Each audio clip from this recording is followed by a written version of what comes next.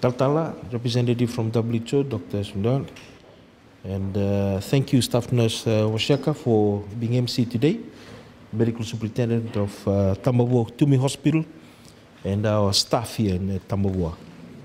I want to extend my gratitude to the uh, organizing committee uh, for today's event. And this allows us to be able to celebrate our national TB program and join with our counterparts around the world in our concerted efforts to advocate collectively against this disease. The theme, as we all know, is to invest to end TB and save lives. And each year, WHO commemorates uh, World TB Day to raise public awareness on the devastating health, social, and economic consequences of TB and to step up country efforts to end the global TB pandemic. The date marks the day, as we all know, in 1882, when Dr. Koch announced that he had discovered the bacterium that caused TB, opening the way forward for diagnosis and curing this disease. TB remains one of the world's deadliest infectious killers. Each day, over 4,000 people lose their lives to TB, and about nearly 30,000 fall ill to TB, while this is preventable and curable. The global efforts to combat TB have saved an estimated 66 million lives since 2000. However, the COVID 19 pandemic has reversed years of progress made in the fight to end TB. For the first time in over a decade, TB deaths increased in 2020.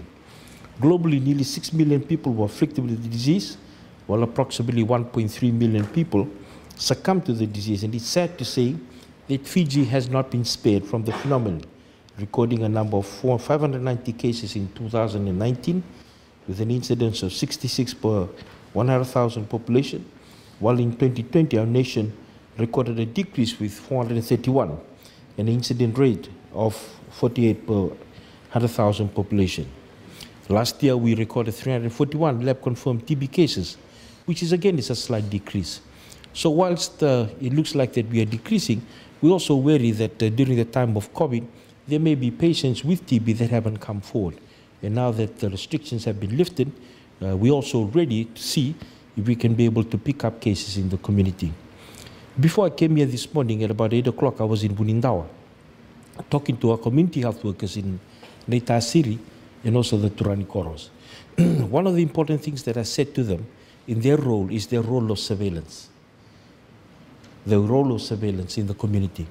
If they, if every morning I've asked the community health workers, if they spend at least one or two hours in the morning, just going around to every house in the community and checking if everyone is all right.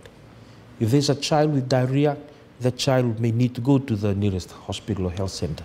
If there's somebody with fever, they need to keep an eye on them because we need to be able to nip the issues in the bud.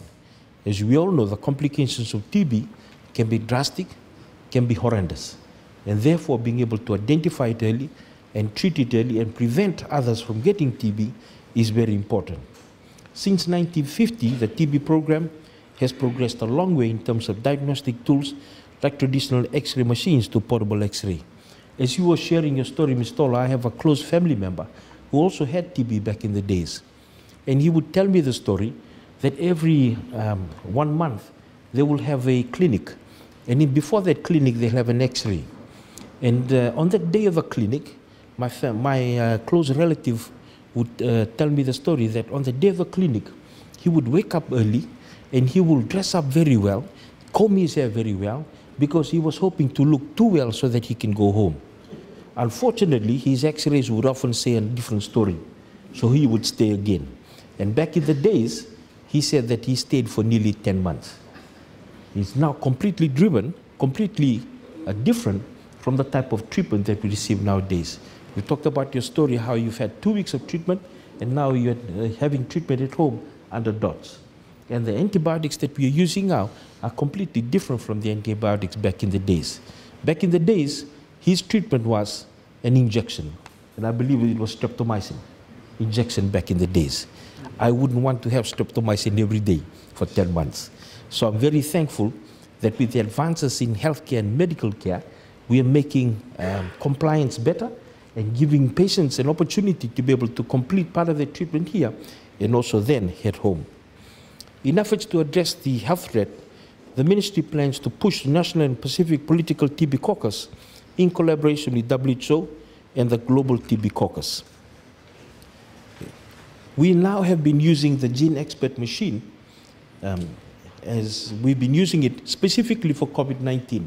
We also know that a module on the GeneXpert machine that we've been using before to be able to uh, screen and test for TB. We want to be able to use the GeneXpert machines that we have in our subdivisional hospitals to be able to also test for TB so that uh, the ability to be able to uh, have an investigation and make a diagnosis is actually faster. In line with this year's uh, theme, the ministry has invested in refurbishing a room, a two-bed isolation ward for inpatient clinical management of drug-resistant TB isolation. The isolation ward will be officially opened after this, and to, to recap recapitulate information on the characteristics of TB, it is an airborne infection, as Ms. Stoll has said, released into the air when someone with infectious TB coughs or sneezes the risk of an infection can be reduced with good ventilation, natural light such as UV, and good hygiene.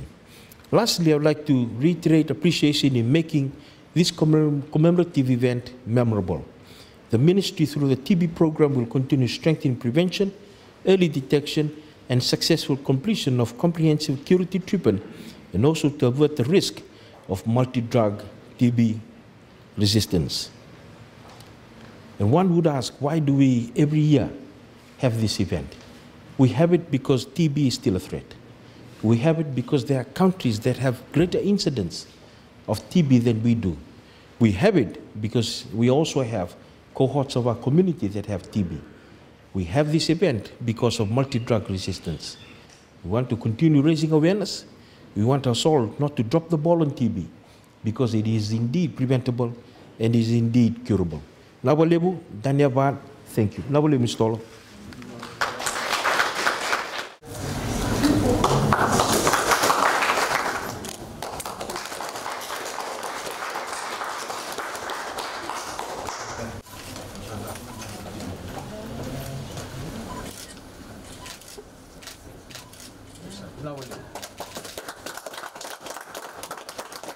to Twomey Hospital. In Jesus' name we pray. Amen.